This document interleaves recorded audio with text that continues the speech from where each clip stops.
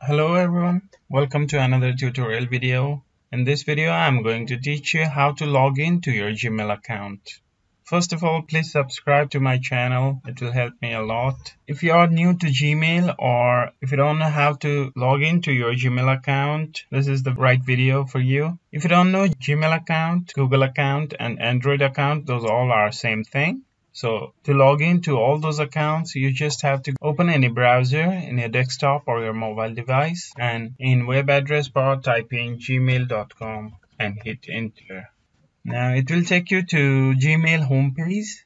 This is the homepage for Gmail and if you want to sign in to your Gmail account, Android account or your all your Google account, this is the right page for you.